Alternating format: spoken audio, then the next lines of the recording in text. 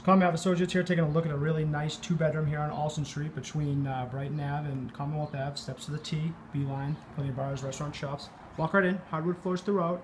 AC comes with the apartment. A lot of sunlight because it's a corner unit and we're on an upper floor.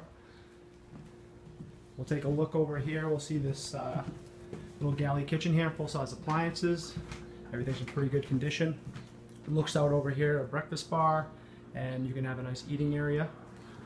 Plenty of closet space. Bedrooms are really good size. And we got a nice updated bathroom. We'll take a look at the bigger bedroom right here to my right.